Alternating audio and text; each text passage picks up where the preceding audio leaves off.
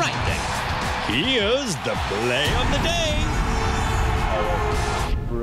Actually, the play of the day is uh, the fact that Eddie Lacy and Barrett Jones managed to get up after their 20 minute nap. Uh, I'm assuming neither one of you have slept after, of course, uh, the big win. Alabama, a third national title now in four years. Uh, and uh, there you guys are.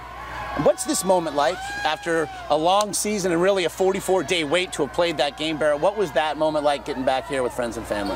Well, it's pretty. It was pretty special. You know, we feel like we have the best fans in the country, and uh, they're very loyal. They followed us all the way out here to, to Miami and showed up big time for us, and uh, it's just special. You know, the whole thing was was such a special experience for our teammates to be able to to win back-to-back titles and uh, just to have the opportunity to play with a great group of guys. Yeah, uh, Eddie, I'll use the words because you weren't allowed to use them. Repeat, dynasty, it's all there.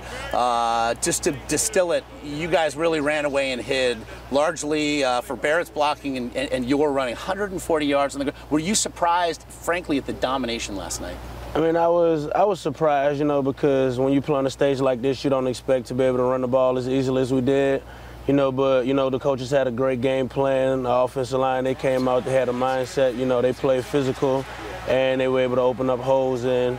There you are, AJ. spinning your way through, avoiding those direct hits. That over. spin move, man, is Oh, I didn't see it. I just missed it. Oh, that's so not cool. um, all right, we, we want to. There's a, a controversy of sorts. You and AJ McCarron getting into it. Games end.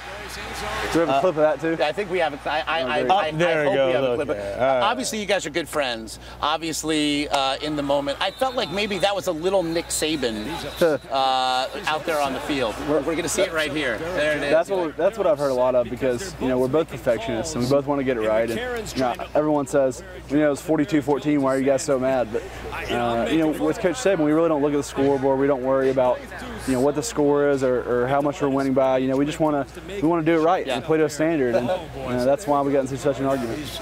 Uh, Eddie Lacy, Barrett Jones again. They said it couldn't be done. They said there would be no dynasty in the BCS era, and they were wrong. Congratulations once again. Thanks. Whatever position on the O line Thank- you play uh, at the next level, congratulations to you.